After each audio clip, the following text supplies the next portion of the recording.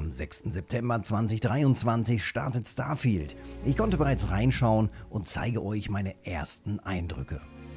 Ob das neue Starfield etwas für dich ist, kannst du leicht entscheiden, wenn du solche Spiele magst wie zum Beispiel Skyrim oder Fallout 4, aber natürlich auch No Man's Sky.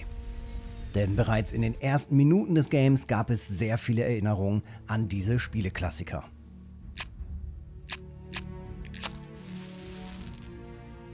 In der Geschichte starten wir als frisch eingestellter Minenarbeiter und uns wird zunächst erklärt, wie wir die Erze abbauen und an Ressourcen kommen.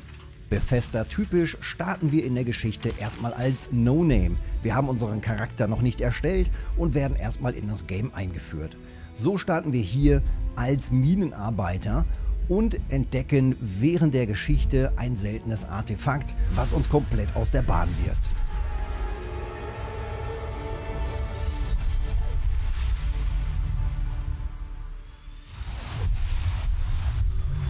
Auch hier kommen wieder Erinnerungen zu Skyrim und Fallout 4 auf, wenn wir unseren Charakter im Anschluss erstellen können. Zufrieden mit unserem Äußeren geht es dann weiter zu einem kleinen Hintergrund, der allerdings nicht wahnsinnig viel Einfluss auf das Game hat und unser Charakter ist startklar. Bereits in der Vorgeschichte können wir zahlreiche Gegenstände einsammeln, ob wertvoll oder nicht, ob später nützlich oder nicht, das erfahren wir im Laufe des Spiels. Ganz im Stil von Fallout 4 nehme ich natürlich alles mit, was irgendwie wertvoll erscheint. Und da sind sie wieder, immer wieder die Erinnerung an Skyrim oder an Fallout 4. Ob wir anfangs wie bei Skyrim einfach in das Game transportiert werden. Bei Skyrim sind wir ein Gefangener auf einer Kutsche, in Starfield sitzen wir in einem Fahrstuhl runter in einer Mine und werden erstmal ordentlich ausgestattet und kriegen die Basisstory erzählt.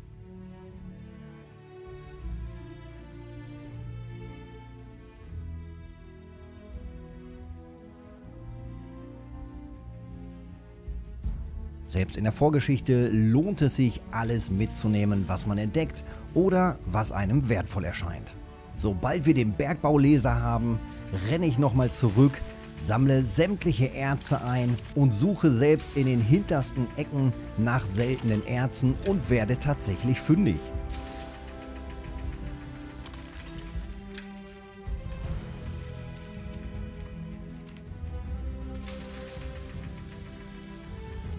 Während des Einsammelns kommen wir immer tiefer und immer weiter in den Bergbauschacht und landen schließlich an dem Punkt, wo wir das seltene Artefakt finden. Auch das Erz um das seltene Artefakt herum können wir abbauen und legen dann schließlich das Artefakt frei.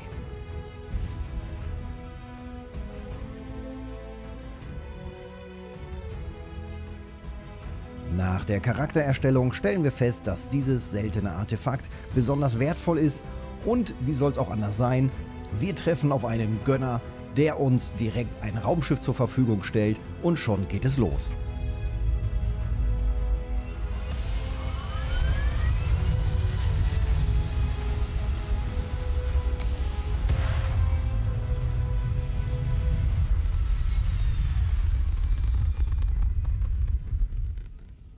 Zunächst erkunden wir das Weltall und was wir mit dem Schiff anstellen können.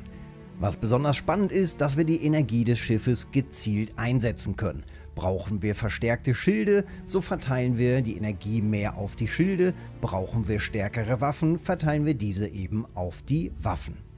So müssen wir immer entscheiden, was zurzeit wichtig ist und was für uns am effektivsten ist.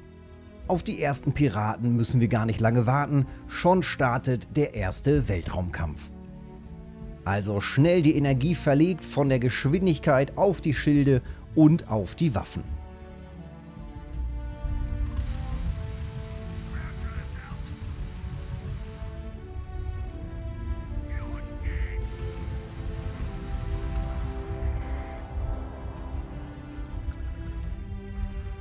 Im Anschluss suchen wir uns einen nahegelegenen Planeten und scannen nach seinen Ressourcen.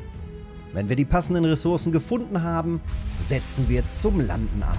Und ab jetzt kickt No Man's Sky so richtig rein.